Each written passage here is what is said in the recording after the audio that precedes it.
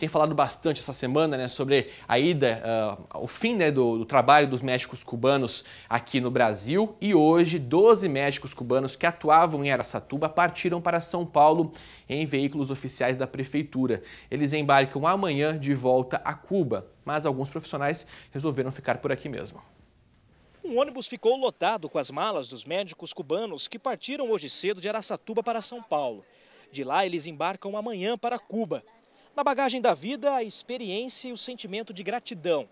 A Jailin trabalhou por mais de um ano na Unidade Básica de Saúde do bairro Pedro Perry.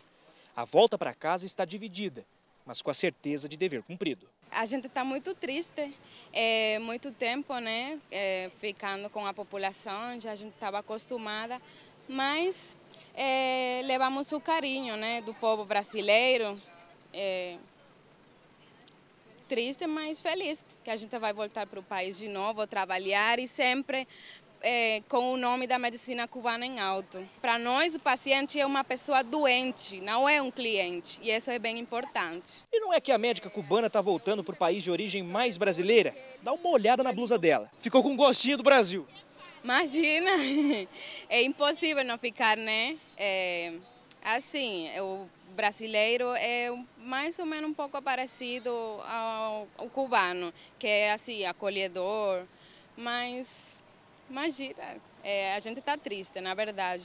Agora, nós temos aqui no município oito pessoas legais, ou seja, que já casaram, constituíram família, e no segundo edital, que começa no dia 27, eles têm a possibilidade de estarem fazendo as inscrições. São médicos cubanos? Sim, são profissionais cubanos do programa que estão legalizados no Brasil. Só que eles não vão poder exercer a medicina aqui no país, a não ser que façam um revalida, que é o exame de reconhecimento do diploma. A decisão de deixar o Brasil surgiu depois de uma declaração do presidente eleito Jair Bolsonaro sobre a presença dos médicos cubanos no país. O governo de Cuba decidiu encerrar a participação no programa Mais Médicos.